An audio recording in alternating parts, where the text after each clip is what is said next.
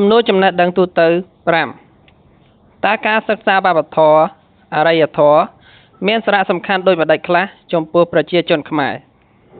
ចម្លើយ ការសិក្សាវប្បធម៌អរិយធម៌មានសារៈសំខាន់ចំពោះប្រជាជនខ្មែរដូចជាយល់ច្បាស់ពីមូលដ្ឋានគ្រឹះសង្គមជាតិព្រលឹងជាតិព្រមជាមួយប្រភពវប្បធម៌